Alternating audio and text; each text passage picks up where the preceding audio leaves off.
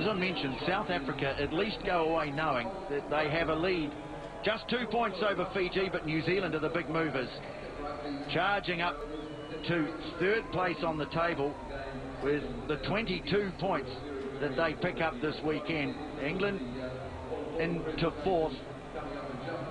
Well, what a final it's been. Time now for the presentation of the Cup. Let's head down to the